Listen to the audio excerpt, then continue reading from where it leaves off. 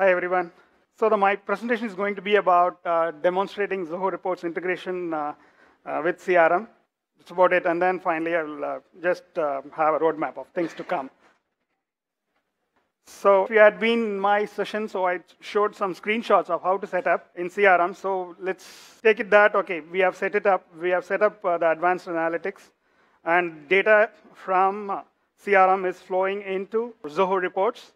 And this is what you get. So this, um, uh, I showed you the snapshot of uh, the tables.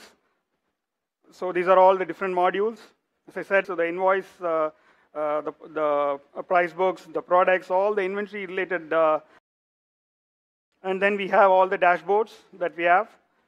Uh, again, part of the 120 plus reports that we have. So I'm going to take the potentials table and try to create uh, some uh, reports on top of this, show you how it's done. So click on the new icon here, then the new chart view.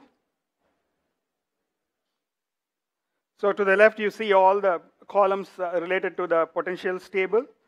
Not only that, if you actually see all the other tables are also listed because these are all joined to potentials internally by uh, lookup columns. So it's you can drag and drop any of the columns to the right. This is which is this is the designer area for the chart. So what I'm going to do, I'm going to drag and drop the closing date and uh, the amount to the y-axis. So let then say click here to generate graph. What it does is it it plots a line graph of how the what the potential amount has been for the for all through the months the data has is there. So now let me change that from month to quarter.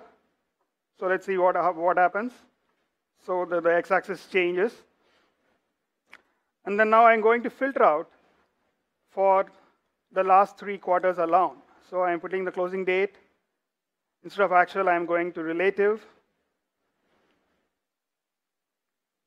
Choose the quarter, the last three quarters. And this is how the last three quarters have been. Uh, I can even change the chart type. So let me have it as the bar chart. And actually, Zoho Reports offers a lot of other chart types as well. So I'm going back to the graph. So what I need now is, what I'm going to do is actually classify the dif uh, different potentials, whether they are won potentials, the loss potentials, or open potentials. So I'm going to dra drag and drop the forecast type to the color shelf. And this is how the chart changes. So you can see for the various, uh, the, the last three quarters, uh, how the potentials are based on the forecast type. And then there are settings as well. So where you can say the legend position can be changed now I'm changing the legend position to the bottom. And uh, you can even change the axis labels.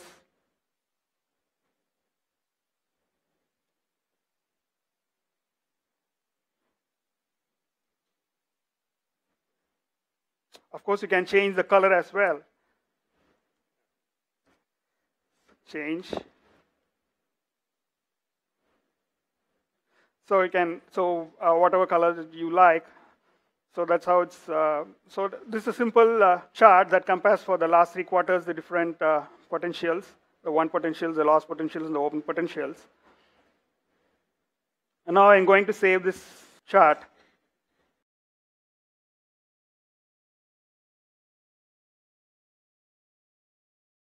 So the chart is now made. I can even drill down. So for example, I'm in, in the Q1, the open uh, this thing. So when I drill down, it goes to, to the months actually. So from the quarter, the quarter, the, the last three months, and then I can further drill down to weeks, and then I can further drill down to days, and then I can go back month-wise, then quarter-wise.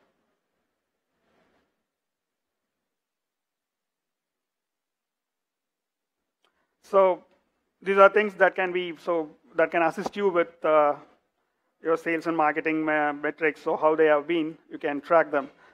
And uh, let's now move on to the pivot view. Similar to the charts, we can uh, create uh, pivots. Here, again, I'm going to drop, uh, we, let's see how the wind, uh, what, what is the, what are the, what, what are the uh, won potentials, what is the revenue that has been over the past three quarters.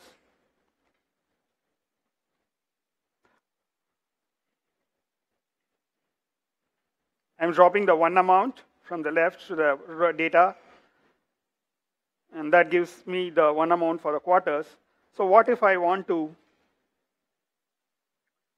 pivot it by the potential owner, the, the, the salesperson? I can do that as well. I'm going to drop them in the columns. So it can be the other way around too. So, and now again, I'm going to apply the filters for the closing date because we need only for the last three quarters.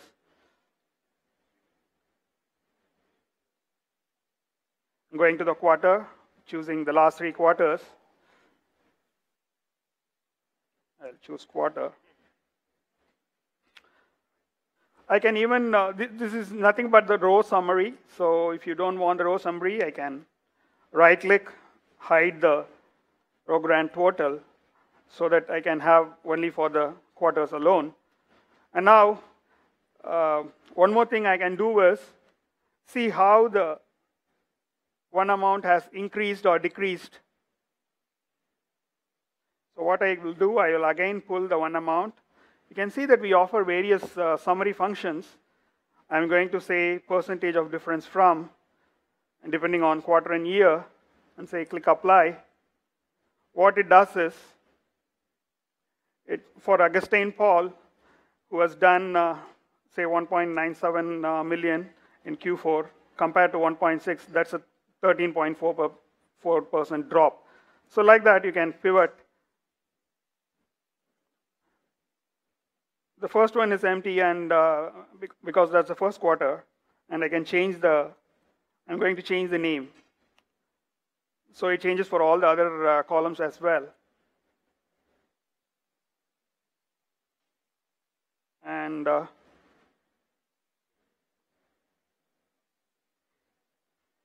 I'm going to have the column grand total removed as well. So this is how our final pivot looks like. And I'm going to save it as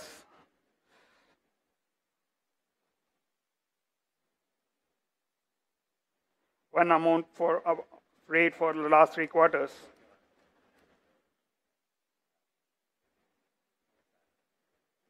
And save them to the same Zoholics folder. So now we have, I can go across to Zoholics. Now we have this uh, chart and then this pivot. We can now make a dashboard combining these two. So I clicked on new and the, and the new dashboard. Now to the designer area, I'm pulling the chart. And then I'm now pulling the pivot table.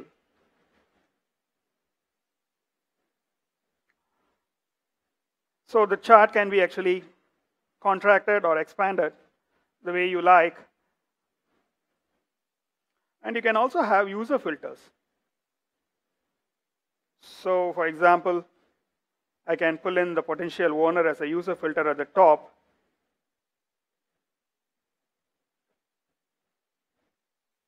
So let me save this dashboard.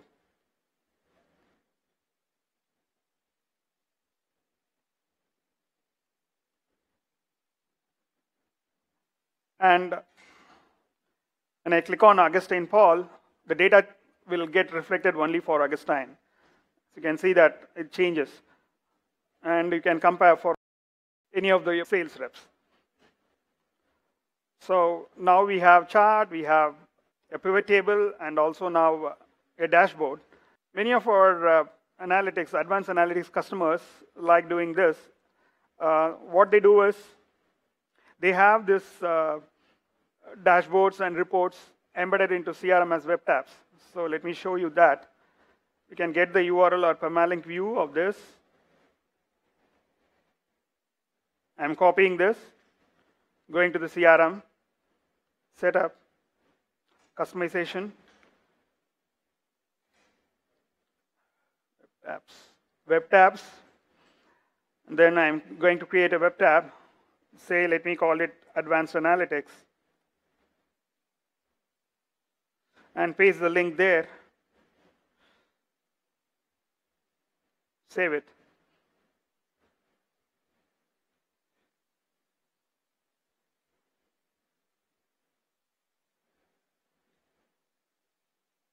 So this is how you end up uh, seeing the dashboards. You can have any number of dashboards taken from uh, analytics into CRM. That's one way of uh, doing the sharing. The other way of doing it is you can uh, click on the share button here, uh, click on share this new view to new users. Then I'm going to share this with Yes. Uh, we offer some fine-grained permissions. So what Charles can do with the data, whether he can just read the, see the chart alone, whether he can export the data, whether he can, whether he can view the underlying data, whether he can drill down. So let me say, uh, just export data. And then we can also specify filter criteria. So what, what can Charles see of the, uh, the dashboard that is being shared with him? Uh, in this example, let me say uh, the potential owner Maybe uh, we, in this example, let's say Augustine Paul is reporting to Charles, and he wants to see Augustine's performance alone. So I'm saying a potential owner is Augustine Paul.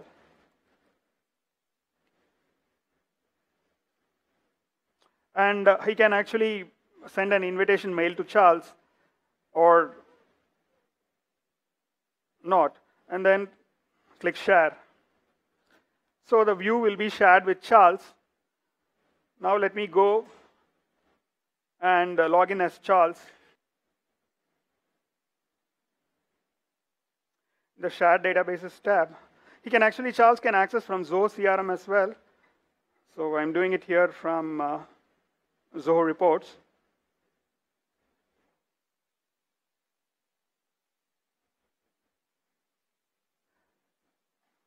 You can see that only Augustine Paul's uh, information is there. So that's how uh, sharing is done in reports. So coming back to the uh, the, the, the, demo account that I was using before, you can even publish, this is the URL, you can have it uh, embedded in, an, in your intranet, or you can even have it in your website or blog. It will, will give you an iframe, change the, and uh, change the dimensions, and then you can uh, do that. And also you can email a report or a dashboard you can email them as HTML or you can email as PDF. So you can even schedule the report to be sent again and then again. So uh, at, at, regular intervals, say first of every month, you want a set of reports to be sent. Even that can be done. So these are uh, uh, things that you can do with uh, Zoho reports. So that actually concludes my demo. So going forward, so in the roadmap, this is what we are going to have. We are going to bring in the campaigns module in CRM into the advanced analytics, uh, followed by the Google AdWords uh, integration that we already have in CRM. So that data is also going uh, to come into Zoho reports for analysis. Uh, third one is the multi-connector one, uh, which is nothing but uh, having data from multiple sources come into CRM and for analysis. In, in the previous session, there was a question about how to combine data from, say, Zoho Support or Zoho Books uh, into CRM in the case of CRM Plus. So this is what it will allow. Actually, uh, instead of CRM, if it's going to be CRM Plus, data from all these uh, Zoho services are, are going to come in and you can uh, build reports on top of, uh, and you can correlate things. So how, compared with, uh, say, CRM to support to books, you can do them across. And finally, we'll have snapshotting as well, which will actually uh, each, each uh, lead or contact, whenever it changes stages, all the data is captured. and uh, you can uh, report on top of that data. That's what uh, snapshotting will be. Uh, one more thing is, okay, so the, before the multi-connector one, what we currently have now, I just wanted to show one more. For example, let's say that this salesperson target in this example, it's, it's a different table which we have for each of the salespersons, we have a monthly target and a yearly target. Uh, let's say this information is coming from, a, say, a different spreadsheet, uh, and this can change. So every month or every yearly target can change uh, over, the, over the year. So this data, let's, uh, we are going to compare uh, with the CRM data, the, the actual uh, the sales done by the salespersons. So currently what we do is we construct a query table. This if you go to edit design, you can see the, this is the query which actually joins the salesperson target table with the CRM potentials table. And uh, on top of this table, we have created reports comparing the sales target with the actuals. So you can see how uh, the actual sales versus the target sales for the various uh, salespersons. So th this is how it is done now. So this is what we call data blending. So this is how we do for, for multiple sources. So instead of uh, the sales target that we have, the data can, can be from, say, Google Analytics or Google AdWords, or it can be from a campaign that you are running, um, or it can, the, it can be the other way around. So it can be a store sales data or a point of sale data. So you can merge all those data into your CRM data and get uh, uh, correlated outputs. So that brings me to the end of my presentation.